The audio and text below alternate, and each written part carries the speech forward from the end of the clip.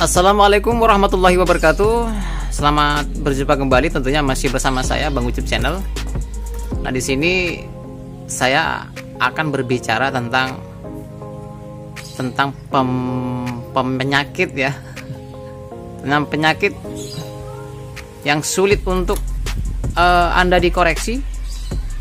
Bagaimana cara untuk menggacorkan burung cendet pilis ya ini yang banyak viral dipertanyakan di media sosial di konten YouTube saya di bawah kolom komentar ataupun di chat pribadi saya.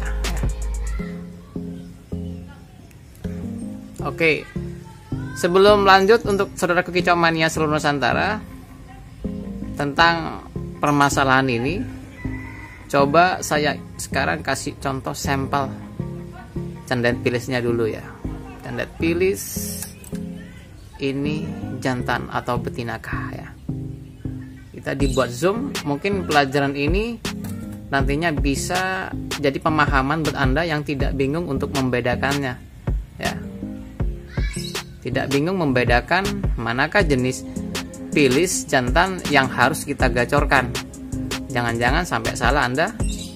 Di situ lubang hidung sudah pas ya lubang hidungnya ini sudah tembus loh dagu putihnya luar biasa ya.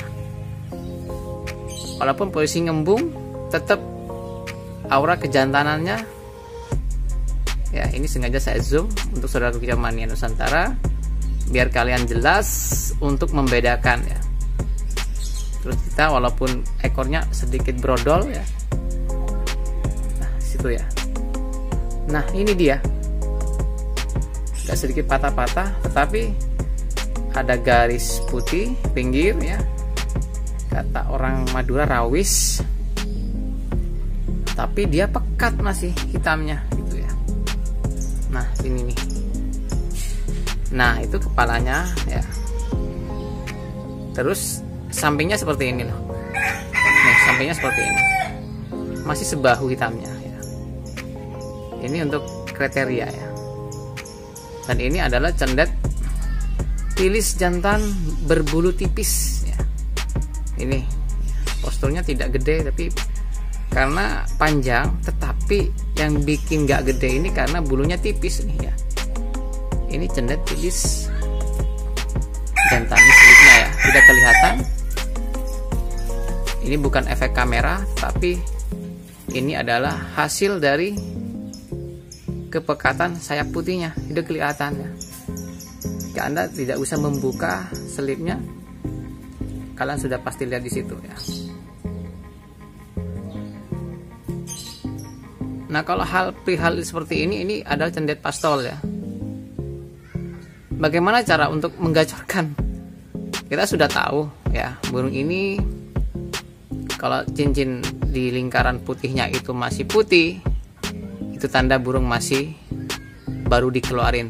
Jadi prosesnya masih belum uh, proses perawatan jemur ya. Nah kemarin yang sempat uh, bertanya goyang nggak ya? Kalau proses goyang di sini kameranya karena saya nggak mau pakai tripod tripodnya sih ada.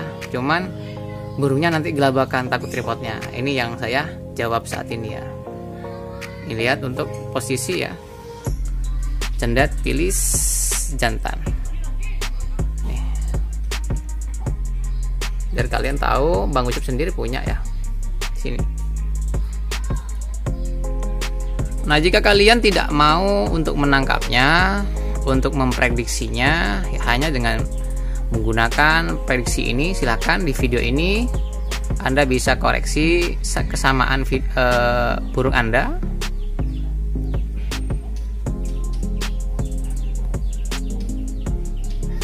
kesamaan burung Anda ya.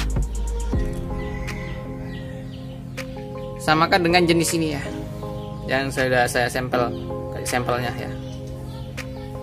Sama enggak prosesnya burung cendetis Anda seperti ini. Bahan pastol punya Bang Ucup ya.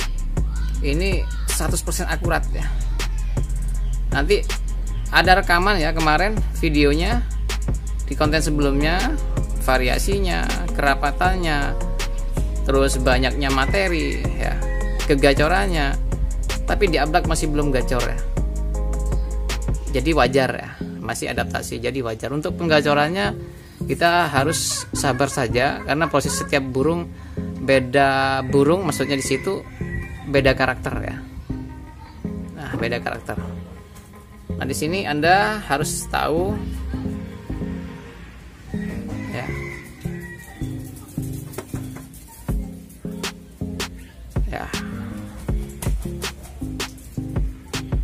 jadi banding bandingin deh sama punya punya om omnya di situ punya saudara saudara sekalian. Ini kalau mau melihat sampel dari Bang Ucup tentang jenis pilis jantan ya. Sayangnya di zoom nih.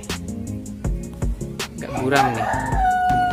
Proses untuk menggacorkan bagaimana Bang ya? Untuk proses penggacorannya karena burungnya kita lihat sudah kondisi ini ya. Sudah sudah kondisi ini sepahnya ya. Cuman ini ada berak putih kenapa ya? Berak putih di sini karena satu hari saya ablak untuk pengadaptasian ya.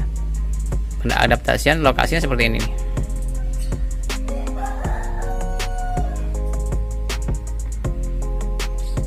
hmm. lalu lang kendaraan sepeda motor tuh jauh kan ya ini zoom ya itu jauh jadi pengadaptasian. Jadi tidak beresiko bagi burung cendet yang ingin mengalami masa pengadaptasian ulang setelah pastol ya. Dan proses untuk penambahan DF untuk jenis pilis jantan ya untuk menggacorkan seharusnya anda harus sediakan kroto ya. Itu lakukan kroto setiap harinya satu sendok teh terus seperti biasa kita lakukan pemandian sebelum penjemuran ya. Ini penjemurannya harus kencang nih. Kalau jenis-jenis seperti ini harus kencang. Buat birahinya cepat naik ya. Karena sulit sekali. Untuk jenis pilis kalau sudah gacor luar biasa ini mentalnya sangat bagus kalau sudah gacor ya. Tapi kalau bagi burung anda yang masih lemot itu ternyata hanya mungkin kondisi burungnya aja ya.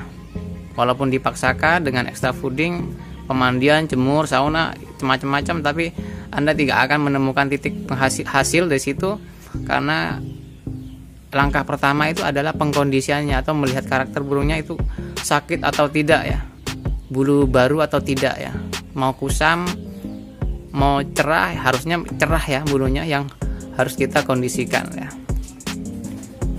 untuk takaran WF nya ya untuk jenis pilis paling rendah saya umumkan itu paling rendah di angka 7 ya itu diselingi pun untuk penggacoran di situ memakai kruto saya anjurkan memakai kroto.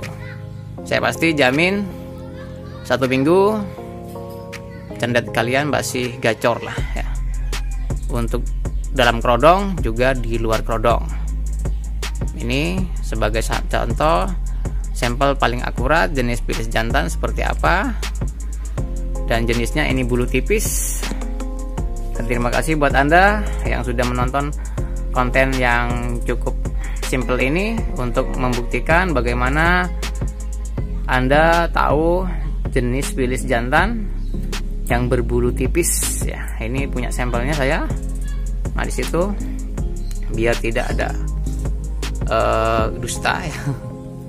Cuman hanya ngomong gitu tapi nggak punya sampel. Ini rugi ya. Ini ada sampelnya, ini saya sudah buktikan. Terima kasih. Assalamualaikum warahmatullahi wabarakatuh